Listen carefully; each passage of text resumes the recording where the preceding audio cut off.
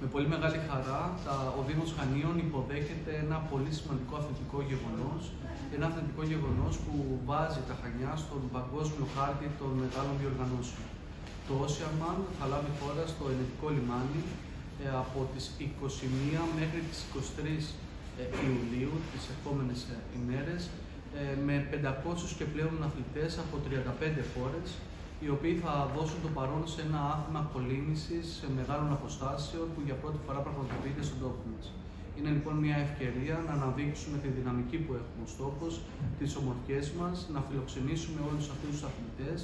αλλά κυρίως να μπορέσουμε να παρακολουθήσουμε τις πολύ μεγάλες προετοιμασίες που έχουν γίνει τόσο από το Δήμο Χανίων όσο από την Περιφέρεια Κρήτης, αλλά και από τον υπεύθυνο της διοργάνωσης, τον κύριο Μητρόπαπα. Καθώς και